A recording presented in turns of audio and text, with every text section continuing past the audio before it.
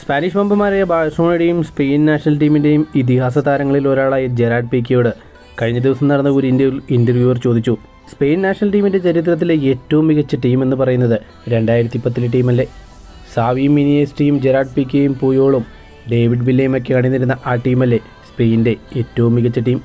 ആ ടീമിനെയല്ലേ അർജന്റീന അന്ന് നാലേ ഒന്നിന് പരാജയപ്പെടുത്തിയത് എന്ന് അദ്ദേഹത്തോട് ചോദിച്ചു.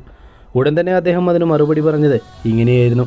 അതെ സ്പെയിന്റെ ഓരോ താരത്തിനോട് എടുത്തു ചോദിച്ചാലും അവർ പറയും അവരുടെ ഏറ്റവും മികച്ച ജനറേഷണൽ ടീം അത് രണ്ടായിരത്തി പത്തിലെ ടീമെന്നാണ്. പക്ഷേ ആ ടീമിനെയാണ് ഇതിഹാസ താരം ലയണൽ മെസ്സി അണിനിരുന്ന അർജന്റീന ടീം ഞങ്ങളെ നാലേ ഒന്നിന് തോൽപ്പിച്ചത്. ആ മത്സരത്തെക്കുറിച്ച് എനിക്ക് നല്ല ഓർമ്മയുണ്ട്. അന്ന് ഞങ്ങളേക്ക് വെറും കാഴ്ചക്കാരാക്കിക്കൊണ്ടായിരുന്നു ലയണൽ മെസ്സി ഞങ്ങളുടെ മുന്നിലൂടെ പന്ത് തട്ടിയെടുത്ത് കൊണ്ടുപോയത്. അന്ന് ഞങ്ങൾ അത് കണ്ട് പേടിച്ചിരുന്നു പോയിട്ടുണ്ട്. പക്ഷേ പിന്നീട് ഞാനത് ആലോചിച്ചപ്പോൾ അത് വളരെ ശരിയായ കാര്യം തന്നെയായിരുന്നു. കാരണം ലയണൽ മെസ്സിയുടെ ഫുട്ബോൾ ചരിത്രത്തിലെ ഏറ്റവും മികച്ച കാലങ്ങളിൽ ഒന്നായിരുന്നു രണ്ടായിരത്തി പത്ത് പതിനൊന്ന് സീസൺ ആ സീസണിൽ ആര് വിചാരിച്ചാലും ലയണൽ മെസ്സിയെ തടയാൻ സാധിക്കുമായിരുന്നില്ല. സ്കോഡിന്റെ ഡെപ്ത് എടുത്ത് നോക്കിയാൽ ഞങ്ങൾ അർജന്റീനയേക്കാൾ മികച്ച ടീം തന്നെയായിരുന്നു. പക്ഷേ ലയണൽ മെസ്സി എന്ന താരം അവരുടെ കൂടെ ഉണ്ടായതുകൊണ്ട് മാത്രമാണ് ഞങ്ങൾക്കന്ന് തോൽവി നേരിടേണ്ടി വന്നത്.